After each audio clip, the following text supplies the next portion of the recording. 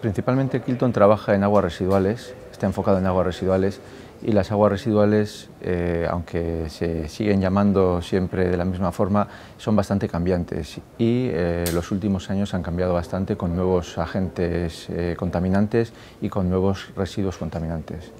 Kilton lo que está haciendo es evolucionar sus máquinas y sus procesos productivos para intentar dar un servicio más global a nuestros clientes.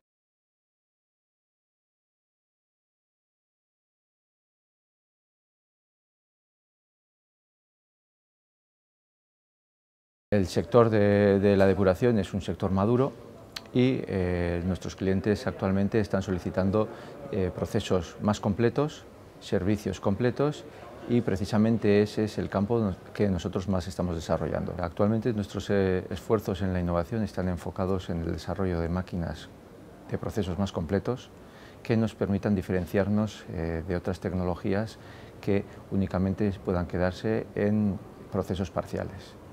Actualmente estamos en varios, eh, en, varios proyectos de innovación que eh, nos permitirán sacar máquinas nuevas a lo largo del año que viene.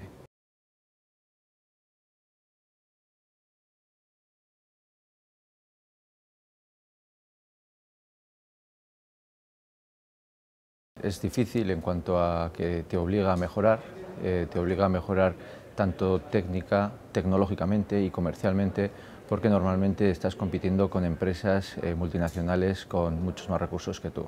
Entonces, el hecho de que eh, te puedan eh, dar recursos, ayudas, nos puede posicionar en, unos puntos ventajosos a la hora de poder enfrentar esos proyectos de internalización.